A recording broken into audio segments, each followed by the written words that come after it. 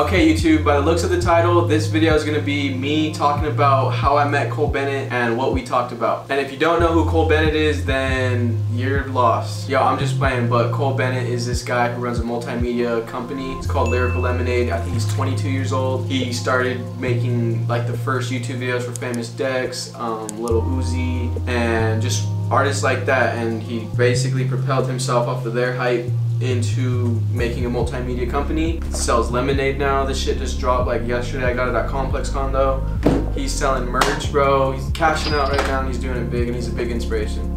Okay guys, so let's get into it. So I went to ComplexCon last week. If you don't already follow my page, you would have already known that. But I went there just to really try to meet legends, like really try to meet people I look up to. It was like a networking opportunity. I spent a lot of money while I was there, but boom, I'm at ComplexCon the first day. I'm at Complex Con, it's fucking lit. I'm seeing supporters like every 30 minutes. Some of them have our chains on and stuff. Like I was just, I'm buying expensive shit. I'm drinking a little bit. We get we get lit a little bit, bro, and we're just feeling it. Boom, I go to my friend's booth, Sam, who owns Half Evil, and then, um, boom, I spend like two hours with him, talking to him and the homies. They all own Instagram brands, they're all killing it. It was fun, whatever. And then, bro, like, it's coming to the end of the day. I was about to go home. I was up since 6, now it's like 7 p.m. And I'm just saying goodbye to the homies. I'm at Sam's booth, remember, I'm at Half Evil's booth. Sam is super well connected with everybody, like, everybody, like, in the industry. I literally just like turn around, I'm talking to a supporter right now. I literally turn around and I just see Cole Bennett talking to somebody over there and I'm thinking like, cause I spent an hour in his line and he was there, but I didn't want to like go like,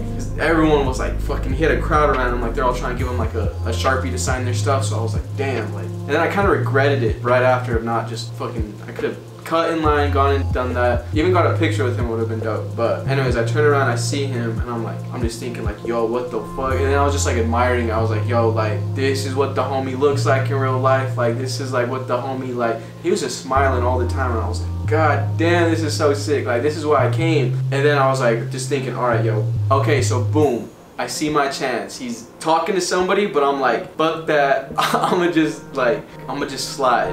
And so boom, I see my opening. I go up to him. I'm a little faded at this point, and I think the first words that come out of my come out of my mouth are, "Yo, your shit's crazy, dog." Literally, I was watching your warehouse vlog like three days ago with my homie, cause I'm trying to set up my warehouse, and we we ran that shit back like three times just watching it, and I really admire all the shit that you are doing right now. And he's like, he's like, "Oh my god," and then he's like facelift, and he's just like, "Oh my god, bro, like that's so dope." And then he's like, "So like, what do you do?" Blah blah blah. He's like He's like, that's dope, you got a warehouse. I wasn't even trying to talk about me at that point because I was just trying to be like, fuck, bro, let's get a picture right now, bro. Like, so I think I said, I was like, dude, I make jewelry, and then I had all kinds of chains on, and I just show him it, and he holds it, and he's like, he's like, this is you? And I was, I was like, yeah. And I was trying to talk about something else, and he's just like, nah, bro. He's like, that shit's fucking lit. Like, good luck with that. And then I kind of was like, I kind of got ahead of myself. I was like, yeah, bro. I think I brought up Icebox. I was like, yeah, bro. We just dropped some T-shirts. Like, do you know Icebox? And then he's like, yeah. And I was like, yo, fuck Icebox. Like, I literally just, I'm like, fuck Icebox. So like, we just dropped these tees, bro. And I think, honestly, I was trying to, like, flex the numbers to him. Yeah. Just, and, and that wasn't, like, the right move or whatever, to be honest. Because, like, out of all the things I could have talked about, I fucking just like, yo, look at these t-shirts we dropped. You know what I'm saying? And then I showed him it, and he's just like, he, he laughed. So I was like, dude, we just hit 100K, blah, blah, blah. Like, we ain't shit yet, though. It's just cool to be, like, that you're here. I was like, what the fuck, bro? And, um, and it was just like a surreal moment, bro. Like, homie, homie is wearing his Birkenstocks, dude. Like, this really is just like a fan fucking video right now. Like, I swear. I mean, we ended up talking for like a few minutes. Um, I didn't ask him to follow our page or anything or any of that, because when people do that to me, I have no issue. But I mean, I just don't know about him. Like, I'm I'm just not trying to be that person or whatever. I should have given some jewelry, but I mean, fuck it. Hopefully the next Cole Bennett video is fucking us actually talking with Cole like on video or something. Who knows? You know what I mean? But and yo, that's my video of me meeting Cole Bennett. Shit was crazy. See that hat, bro? That's not for you, bro. You wearing my shit, bro. This was the this was the shit I bought. Cole Bennett, shout out Cole.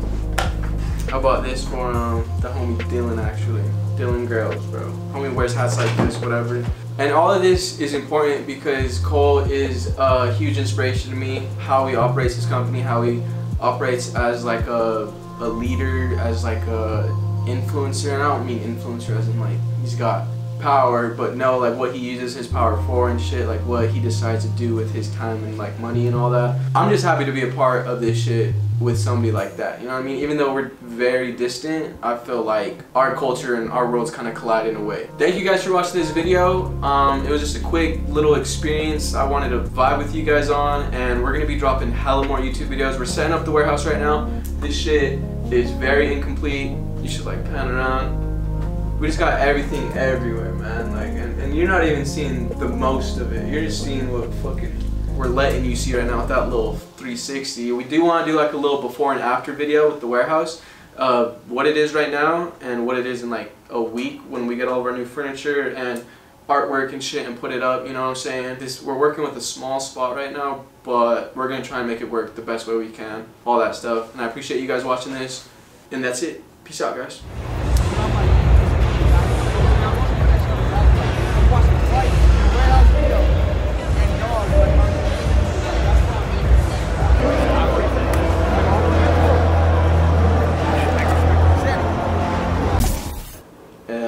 Yo, book Icebox. Like I literally just, I'm like, book Icebox.